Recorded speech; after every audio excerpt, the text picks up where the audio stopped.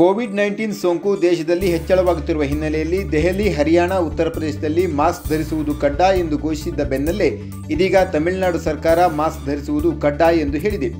PSI ನೇಮಕಾತಿ ಪರೀಕ್ಷೆ ಅಕ್ರಮದ ತನಿಖೆ ಮುಂದುವರೆಸಿರುವ ಸಿಐಡಿ ಪೊಲೀಸರು ಅಫ್ಜಲ್ಪುರ ತಾಲೂಕು ಬ್ಲಾಕ್ ಕಾಂಗ್ರೆಸ್ ಅಧ್ಯಕ್ಷ ಮಹಾಂತೇಶ್ ಪಾಟೀಲ್ ಸೊನ್ನ ಎಂಬುವರನ್ನು ಬಂಧಿಸಿದ್ದಾರೆ. ಈ ಮೂಲಕ ಬಂಧಿತರ ಸಂಖ್ಯೆ ಹದಿಮೂರಕ್ಕೇರಿದೆ. ಇಪ್ಪತ್ತೈದು ವರ್ಷ ಪೊಲೀಸ್ ಕೆಲಸ ಮಾಡಿದ್ದೇನೆ, ಗೃಹ ಖಾತೆ ಕೊಟ್ಟರೆ ಸಮರ್ಥವಾಗಿ ನಿಭಾಯಿಸುವೆ. ಗೃಹ ಇಲಾಖೆಯನ್ನು ಖಂಡಿತ ನಿಭಾಯಿಸುವ ಶಕ್ತಿ ಇದೆ ಎಂದು ಕೃಷಿ ಸಚಿವ ಬಿಸಿ ಪಾಟೀಲ್ ಹೇಳಿದ್ದಾರೆ. ರಾಜ್ಯದಲ್ಲಿ ಆಮ್ ಆದ್ಮಿ ಪಕ್ಷಕ್ಕೆ ರಾಜಕೀಯ ಅಸ್ತಿತ್ವಕ್ಕೆ ಅಡಿಪಾಯ ಹಾಕಲು ಮುಂದಾಗಿರುವ ದೆಹಲಿ ಮುಖ್ಯಮಂತ್ರಿ ಅರವಿಂದ್ ಕೇಜ್ರಿವಾಲ್, ಕಾಂಗ್ರೆಸ್, ಬಿಜೆಪಿ ಹಾಗೂ ಜೆಡಿಎಸ್ನ ಪ್ರಮುಖ ನಾಯಕರನ್ನು ಸಂಪರ್ಕ ಮಾಡಿದ್ದಾರೆ. ಐವತ್ತರಿಂದ ಎಪ್ಪತ್ತೈದು ನಾಯಕರ ಪಟ್ಟಿ ಮಾಡಿಕೊಂಡಿರುವ ಕೇಜ್ರಿವಾಲ್ ಅವರೆಲ್ಲರ ಜೊತೆ ಸಂಪರ್ಕದಲ್ಲಿದ್ದಾರೆ. ದ್ವಿತೀಯ ಪಿಯು ವಿದ್ಯಾರ್ಥಿಗಳ ಮುಖ್ಯ ಪರೀಕ್ಷೆ ಇಂದು ಆರಂಭವಾಗಿದ್ದು ಅಲಿಯಾ ಅಸಾದಿ ಮತ್ತು ರೆಜಮ್ ಕೊನೆ ಕ್ಷಣದಲ್ಲಿ ಹಾಲ್ ಟಿಕೆಟ್ ಪಡೆದು ಪರೀಕ್ಷಾ ಕೇಂದ್ರಕ್ಕೆ ತೆರಳಿ ಹಿಜಾಬ್ ತೆಗೆಯದೆ ಪರೀಕ್ಷೆ ಬರೆಯಲು ಅನುಮತಿ ಕೇಳಿದ್ದು. ಪರೀಕ್ಷಾ ಕೇಂದ್ರದ ಮೇಲ್ವಿಚಾರಕರು ಅನುಮತಿ ನಿರಾಕರಿಸಿದ್ದಾರೆ.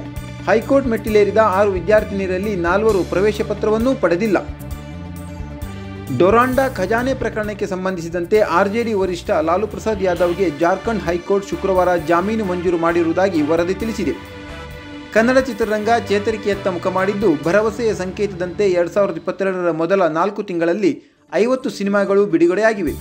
ಈ ಮೂಲಕ ಎರಡು ಸಾವಿರದ ಇಪ್ಪತ್ತೆರಡರಲ್ಲಿ ಕನ್ನಡ ಚಿತ್ರರಂಗ ಕಲರ್ಫುಲ್ ಆಗಿ ಸಾಗುವ ನಿರೀಕ್ಷೆ ಇದೆ. ಫಾರ್ಮ್ ಕಳೆದುಕೊಂಡಿರುವ ಆರಂಭಿಕರಾದ ರೋಹಿತ್ ಶರ್ಮಾ ಮತ್ತು ಇಶಾನ್ ಕಿಶನ್ ಅವರನ್ನು ಮುಂಬೈ ಇಂಡಿಯನ್ಸ್ ತಂಡದ ಮುಖ್ಯ ಕೋಚ್ ಮಹೇಲಾ ಜಯವರ್ಧನೆ ಅವರು ಬೆಂಬಲಿಸಿದ್ದಾರೆ. ಖಂಡಿತವಾಗಿಯೂ ಹಿಂದಿರುಗಲು ಸಾಧ್ಯವಿದೆ ಎಂದಿದ್ದಾರೆ.